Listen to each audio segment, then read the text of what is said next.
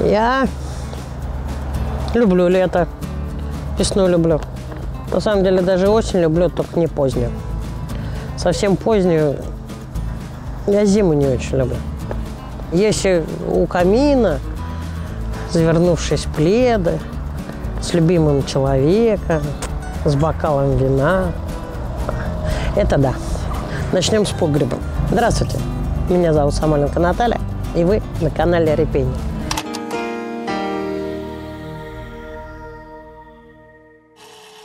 Холодновато сегодня. Я прям укутана. На меня это не похоже. Даже микрофончик одели в шубку. Кстати, какой мохнатенький. Возвращаемся к ответам на вопросы. У меня здесь накопилось страниц 15. Еще 15. Столько же лежит в офисе. Сколько успею, настолько отвечу. А реально ли вообще избавиться от маршанции? Даже в грядках прет и под деревьями. Насколько я помню, маршанцы у нас с вами относятся к печеночным мхам. Избавиться от нее действительно реально. На вскидку я знаю три способа. Первый способ – это ее регулярно механически убирать. И он один из самых действенных на самом деле. А, можно воспользоваться уксусом а, или уже после окончания сезона вегетации железным купоросом. Ну, вот три таких на скидку. А вообще маршанцы в большинстве своем к нам на участке приходят даже не из дикой природы, а чаще всего а, вместе с купленными нами растениями. Поэтому аккуратненько перед посадкой разгребаем, потому что если мы ее запустили, э, вывести ее будет достаточно сложно. Подскажите, какие сроки в этом году посадки тюльпанов под зиму? Спасибо. Мы еще сажаем Сейчас середина октября, мы все еще высаживаем луковичные. Вообще, если мы берем по, классику, по классике, то крайние сроки это хотя бы до, за две недели до э, начала морозов, до того, как земля начнет сильно остывать и промерзать. Так должно быть. То есть начинается мелколуковичные мы с вами высаживаем с первым звонком, да, там 1 сентября. Более крупные луковицы на не, две недельки позднее.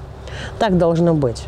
Но по-хорошему, ну, наверное, в практике каждого из вас было, когда вы уже луковицы высаживали в замерзший грунт, ломом фактически, долбили лунки, да, и, и все было нормально. Единственное, что в этом году осень очень сухая. Вот вчера мы высаживали очередную партию луковиц на объекты. 2-3 сантиметра влажные, а дальше просто сушь. Пролить придется после посадки. Добрый вечер. Как избавиться от хвоща на газоне? Странный вопрос. Надо просто регулярно косить газон. Ну, вот так поставить себе раз в неделю, там, допустим, по четвергам или там по субботам. И с регулярным покосом хвощ уйдет.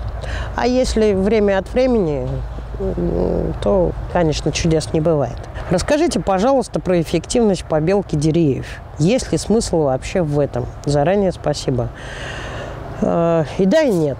Ну, если мы вспомним, как раньше, э, э, чем мы раньше белили деревья, да, это была известь, в этом был два, даже три, я бы сказала, э, функции. Первая функция – это защита от весенних ожогов. Но, на мой взгляд, мне кажется, что если дерево растет в саду достаточно давно, ему защищать его точно не нужно. Там на самом деле перестраивается э, кора, э, где нужна она более там толстая, да, где нужна она более тонкая, поэтому чаще всего мы от весенних э, ожогов не белим, а закрываем вощеной бумагой на первый, ну, максимум на второй год. И, в общем-то, все нормально, пока растение адаптируется, как пока она сориентируется по сторонам света, пока подстроится под существующий цветовой, световой день. А еще, если помните, это была известь. И здесь была еще одна функция, это такая некая фунгицидная защита как бы побелка известью несла еще на себе такую противогрибковую профилактику. Ну и третий – это традиция. Но тогда, когда в основном белят, а белят – это традиционно на майские праздники, необходимости в этом уже нет. Ну, если только там память о прошлом. Была очень такая интересная история. По-моему, в Украину, в Киев приехала именитая голландская, голландский ландшафтный дизайнер Кэрри Престон. Ее возят по городу, показывают парки, какие-то скверы, а потом спрашивают, что на вас произвело более яркое впечатление. Она говорит, вы знаете, я была поражена, потому что где бы мы ни были, везде деревья а, побелены. Я никогда такого не видела. Это, наверное, очень хитрый дизайнерский ход. Вот. Красить деревья под цвет скамеек. Ну, в принципе, побелкой больше уже постсоветское пространство – это единственные места, где еще пользуются побелкой. Больше нигде не видела и, и не слышала. Существуют более простые и более современные способы. Добрый день. Подскажите, пожалуйста, из вашей практики, как надежно ограничивать агрессивные злаки? Варианты рубероид и ведро без дна работают только 2-3 года. Потом подныривают или пробивают и вылазят на волю. У меня растет колосняк песчаный и спортивно-гребенчатая. Очень красивые растения, но очень вредные. Опять же, Самый простой и надежный способ э, ограничения – это регулярная прополка. Мы у себя, допустим, в парке не высаживаем какие-то ограничители, но у нас здесь еще такой хитрый прицел, мы посадки э, воспринимаем как маточники будущие. Поэтому, когда они куда-то разбегаются, мы даже очень радуемся. И, наверное, кроме прополки и просто удаления ненужных экземпляров, я вам ничего не подскажу. Хотя я знаю один участок, где в качестве ограничителя старый холодильник. То есть взяли старый холодильник, закопали и посадили туда клечиху сахалинскую. И убежать она физически не может. Но это уж совсем так грозно. Глициния уже второй год меняет цвет э, листа и становится почти белого цвета. Добавляли минералы, использовали все хилаты железа, магния и калия. Поливали азотом, поливали под корень и по листу и пином. Опрыскивали хромом. Почва суглинки. Сделали ее мягкой и пушистой. Испробовали все. Пробовали не по одному разу, по две недели разного вида эксперименты. Два года стараемся, а лист сначала салатного, затем становится белым засохшей каемочкой. Воды хватает. Ну, наверное, у меня может быть только одна рекомендация. Оставьте растение в покое. А скорее всего, в какой-то момент вы немножко переборщили с удобрениями, и это был просто химический, азот, а, химический ожог. А дальше пытаясь вылечить, пытаясь привести растение в порядок, вы только усугубляли эффекты, я боюсь, что растение в таком состоянии, что оно просто уже не в состоянии воспринимать ни микроэлементы, ни макроэлементы, ни какие-то антистрессы. Вот, оставьте его в покое на годик, и я думаю, что все восстановится. Ну, мне так кажется. Может быть, я ошибаюсь. Процветание вам и вашему каналу. Пожалуйста, расскажите о видах и сортах чубушника, его плюсах и минусах после посадки и ухода для Ленинградской области. Заранее спасибо. А, ну вот как раз сегодня я села готовить этот сюжет. Я чубушники, с одной стороны, люблю, но с точки зрения рассказать о них что-то интересное, ну вот уже который год я к ним подбираюсь, и у меня все не получается. Получается как-то ску скучно и нудно. А скучно и нудно, ну, достаточно, наверное, сюжетов на на просторах Ютуба и, в принципе, интернет. Если получится, то в ближайшее время обязательно выйдет.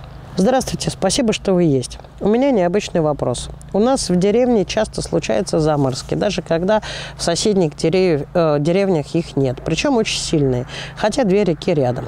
Сталкивались ли вы когда-нибудь с таким? Знаете ли вы способы выяснить, почему и как?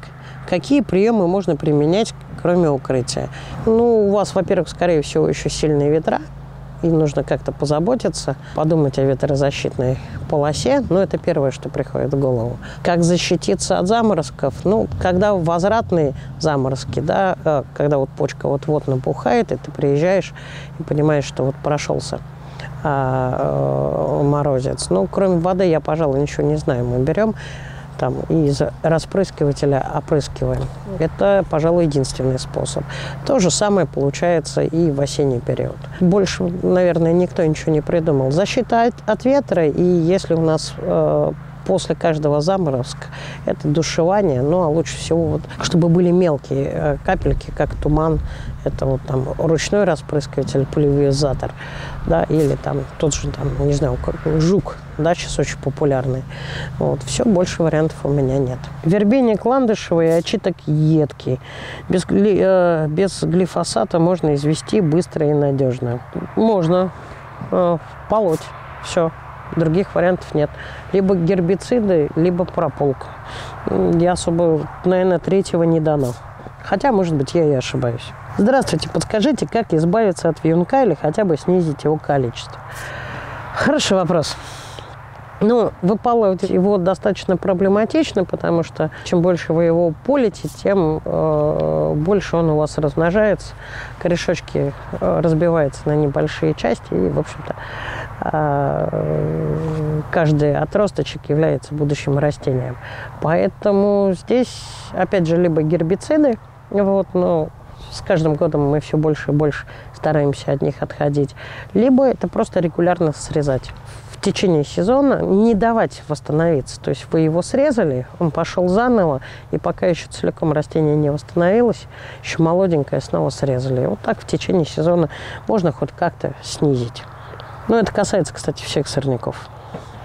Здравствуйте. Спасибо вам за вашу работу. Невероятно полезно, увлекательно и просто приятно смотреть видео на канале. Часто встречаю высказывания в духе «навоз и зола – лучшее удобрение», «песком землю не испортишь» и подобное.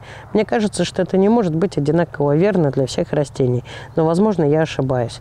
Так вот, вопрос. Есть ли растения, которым можно навредить такого рода вмешательством? Спасибо. Спасибо вам вообще на самом деле за вопрос. И я смотрю, что э, с каждым разом вопросы все более и более интересные. Меня действительно очень часто э, удивляют коллеги, которые однозначно дают какие-то а, готовые рецепты, да, и говорят, ну вот под это растение обязательно там добавляйте песок или там добавляйте золу или там вот там что бы вы ни сажали вам там необходимы органические удобрения или минеральные дают рецепты какого размера должна быть посадочная яма какой ее состав и, на мой взгляд, это неправильно. Неправильно, потому что э, каждый участок – это какая-то индивидуальная история. И понятно, что если у вас тяжелые грунты, да, я понимаю, зачем добавлять песок. Да? Мелкие частицы мы разбиваем более крупные. А если это легкий суглинок, то добавив песка, я боюсь, что земля будет еще больше испаряться, быстрее испаряться, да, потому что и будут только проблемы. Поэтому нет, действительно, и песок, и, и перепревший навоз, и свежий, это, в общем-то, хорошо, но с каждым случаем нужно смотреть индивидуально. По поводу того, каким растениям можно навредить, э, ну, свежим допустим, конский навоз, да, он даже в свежем состоянии особо навредить не может. Ну, хвойные, наверное, хватанут чего-то лишнее. А, аккуратно, не перепревший, если не уверены, что навоз а, достаточно хорошо перепрел, а, старайтесь не вечные, а, не листопадные растения. Да, это у нас с вами не только хвойные, это в том числе и рододендроны, и магонии. Свежаком сильно не использовать. Все, пожалуй, все. Так, в общем-то, органика, она хороша и для песчаной почвы, и для глинистой почвы. И там, и там она несет достаточно много плюсов.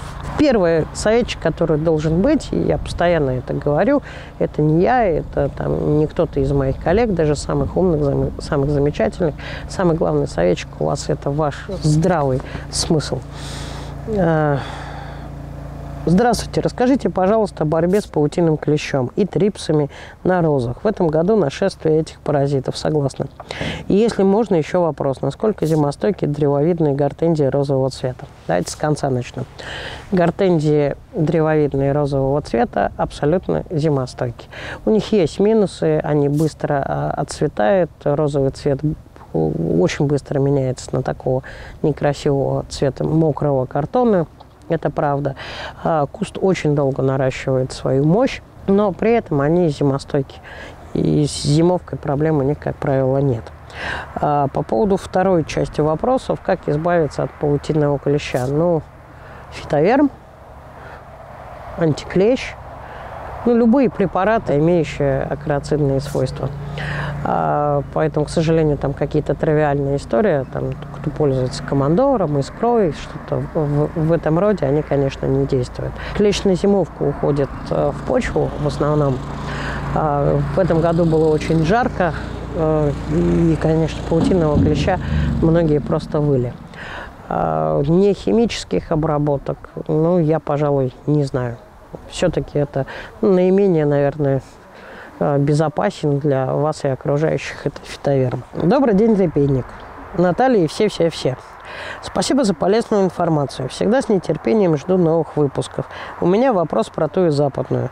В этот за...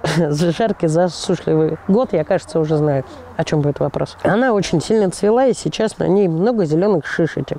Декоративность немного страдает. Можно ли их обрезать? Не наврежу ли я туи. Ей уже 7 лет и 2 метра в высоту. Красавица одним словом. Сорт я не знаю. И вообще, хорошо ли для туи такое цветение – или она страдает, бедняжка. Как ей помочь, я не знаю. А тут посторонний шум, там иногда э, нас за это ругают, но реально рабочий процесс. Значит, смотрите, а, ну, сейчас на данный момент вопрос, наверное, где-то был в августе месяце или в конце июля. Шишечки были еще зеленые, сейчас они уже коричневые и раскрывшиеся. Я даже могу догадаться примерно, предположить, какой у вас сорт. Это может быть барабант, это может быть холмструп. Они наиболее такие склонны к плодоношению. Хорошо ли это для той? Не очень потому что каждая шишечка да, содержит в себе семена, шишка-ягода у той не шишка, да, а называется а, шишка-ягода, содержит в себе семена, и растение э, тратит очень большое количество сил на узревание. А растения вообще очень хорошие родители, и они вот до последнего иногда ценой своей жизни вскармливают э, потомство. Тоже, кстати, очень интересная тема для одного из э, сюжетов. И понятно, что после такого обильного плодоношения растения будут ослаблены. Поэтому в этом году, наверное, нет. А вот весной немного подкормить, конечно, надо. Это первый момент. А второй момент э, в качестве совета. Так э, растение реагирует на недополив. И в очень жаркие года ну, растение может предположить, что все очень критично, что вот он тотальное потепление климата, и оно эти погодные условия не переживет. И, соответственно, а, в момент стресса да, она пытается после себя оставить максимальное количество потомства. А, середина мая ближе, наверное, с конца мая по июнь а, старайтесь вот в самую-самую такую, получается, жару, вот, старайтесь просто дополнительно, помимо полива, еще душевание делать. И все, и плодоношение снижается в разы. Добрый вечер, Наталья. У корейской пихты стали опадать иголки с молодых приростов. Приросты выглядят здоровыми, недостатка во влаге нет. Ленинградская область. Чем помочь растению, как остановить облысение? Стали опадать иголки с молодых приростов. При этом вы говорите, что приросты выглядят здоровыми. Ну, скорее всего, это не заболевание. Ну, есть, может быть, какая-то вероятность того, что это вредитель, но я боюсь, что здесь плохо работает корневая система. Скорее всего, когда у растений не хватает сил нормально поддерживать э, кончики побегов, да, это проблема с корневой системой. Вот, посмотрите на, пред, на предмет вредителей, мало ли там где-то попадаются обгрызанные хвоинки, тогда вы дыхаете спокойно. Э, э, э, с этим можно бороться. А вот вопрос корневой системы, ну, надо разбираться, в чем дело. Я так, к сожалению, не подскажу. Пихты очень долго у них вот эти смоляные почки засмоленные, и они, кажется, даже почка уже мертва, да, но на первый взгляд кажется, что она еще живая. Добрый день. Хочу посадить клематис третьей группы обрезки в кашпо. Подскажите, пожалуйста, как его подготовить к зиме и сохранить. Живу в Московской области. Заранее спасибо. Боюсь, что с этим вопросом я вам не подскажу. А почему? Потому что вот за столько лет работы э, с растениями, с клематисами, я так общего языка найти и не смогла. Не то, что в кашпо, да, а как контейнерное, ну и в открытом грунте. Не любим мы друг друга. Хотя я честно пыталась навести мосты. Не получается. Здравствуйте. Третье лето дождливое. Обработки после каждого дождя. Но слизни непобедимые. Жрут горох, георгины и картофель. Как от них избавиться, учитывая, что на участке любимая кошка? Любимая кошка – это хорошо, слизни – это плохо. А, ну, смотрите, э, вопрос, наверное, уточнения про кошку. Вы боитесь химии использовать, да? Хотя есть э, препарат, называется «Гроза». Это, по-моему, швейцарская была разработка. Наш как раз аналог, просто с другим названием. Он работает на моллюсков. А слизни и улитки – это как раз э, моллюски. Другие э, инсектициды, химические препараты, как правило, на них не действуют. Это первый момент. И, насколько я помню, э, гроза абсолютно безобидна для теплокровных. А если все-таки не хотите использовать грозу, можно, конечно, какие-то народные методы, да, там ставят живое пиво, сладкое вино, цитрусовые, там тот же самый там помелу или апельсин корочки ставят на, на вечер, вот, а потом собирают они сползаются отовсюду. Запах для них очень привлекательный, можно выкидывать. Можно так. Мы на самом деле, ну, у нас есть на это ресурсы, есть силы. А мы в основном используем э, рыхление. Вот сейчас очень много а, кладок отложено именно на весенний, потому что э, и улитки, и слизни у них две кладки. Это как раз где-то в середине лета и осеннее. И вот это вот рыхление не глубокое, буквально там на 3-5 сантиметров позволяет э, яйцам не перезимовать. Это достаточно ну, трудоемко и трудозатратно, хотя э, пользу рыхления очень сложно переоценить. Здравствуйте, расскажите, пожалуйста, о портулаке заполонил весь участок. Третий год. Какие почвы он предпочитает? Может, не хватает чего, раньше его не было. Э, тоже, наверное, не подскажу, надо просто сесть, заняться вопросом, потому что про Портулак достаточно много вопросов. А, опять же, дело в том, что у нас он просто как летник, и почти нигде не встречается и не попадается. Для нас это не зимующее растение, не и я знаю очень многих садоводов, которые, в принципе, радуются, когда он у них растет. И вопрос о том, чтобы его удалять, нету. Еще раз здравствуйте. Подскажите, что с лилейником? Кончик листа желтеет, затем на листе появляются желтые пятна. На них появляются бурые пятна увеличиваются в размерах и лист засыхает. Вообще на участке все растения болеют. Близкие грунтовые воды, скудная почва – Глина, песок и сверху привозной грунт 5-6 сантиметров. В этом году два раза обрабатывала растения и землю фитоспорином. Эффект нулевой. Участок в Подмосковье. Спасибо. Ну, здесь вопрос, наверное, не что с лилейником. Вот. Да, лилейник болеет, но болеет он только по той простой причине, потому что ну, вот такие вот э, условия не очень благоприятные для всех. Вы сказали ключевую фразу, все растения на участке выглядят не очень хорошо. То есть вопрос нужно решать комплексно. 5-6 сантиметров плодородного грунта недостаточно даже для газонной травы. Это как минимум 10 в уплотненном э, размере. Это первый момент. Второй момент, судя э, по всему, у нас вот тут как раз был недавно канал, когда мы были в гостях у Светланы Желиба и э, разбирали геопластику. Вот это ваш вариант. Э, если этим озадачиться, основная большая часть вопросов сойдет на нет. И по поводу, кстати, фитоспорином. Идея правильная и э, проливать фитоспорином. Но в данном случае он не как фунгицид, а он больше как для улучшения качества почвы. И использовать органику на вашем участке. Да? А, все это здорово, но вы поймите, что органические, э, ни фитоспорин, ни биопрепараты, ни органика мгновенного эффекта не дает.